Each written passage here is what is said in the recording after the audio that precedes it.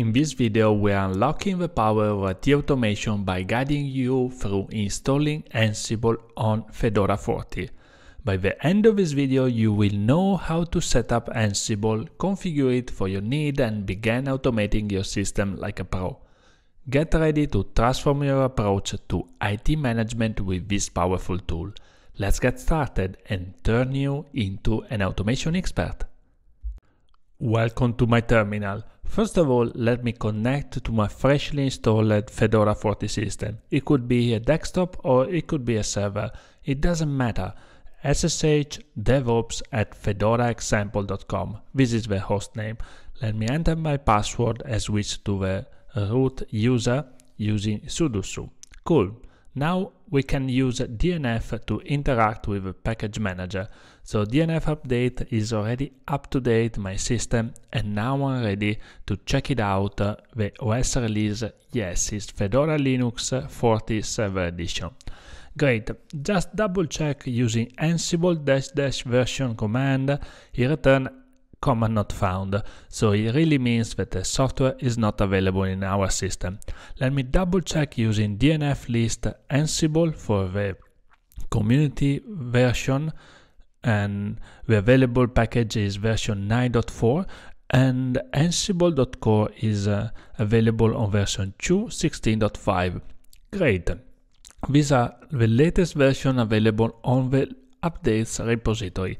Using DNF install, we trigger the download of all the necessary dependency. As expected, there are some Python dependency, especially the Jinja for the Jinja template, another interesting tool.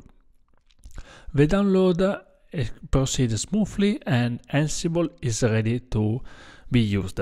Now, uh, how can we verify that Ansible successfully installed? Well, the command ansible dash dash version is going to print it out uh, the current version and as expected is 2.16.5 running on Python 3.12.3. Great. And there are also other interesting um, configuration setting that we can take a look. Now the DNF list command is going to list that the package is successfully installed, so you can check it out every time if you are not sure if Ansible is installed or not on your system. Great. Now Ansible is installed on our Fedora 40. It's time to make the first step in our automation journey.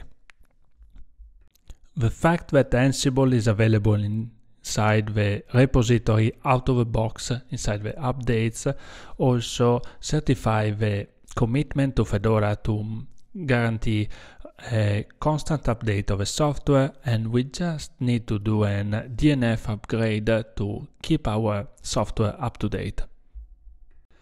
Every time we would like to verify there is an update available, just type it out DNF update Ansible. In this case, there is nothing to do it. Great. Now we can move our first step in our automation journey. You need to know that the etc Ansible directory contains the basic configuration for Ansible. In this case, there is nothing because we accept all the default parameter and the hosts hosts file is called inventory that is actually a list of all the computer that we would like to manage with Ansible. Uh, let me add some line here. The most easy and simple way to test is actually add localhost with a variable ansible underscore connection equal local.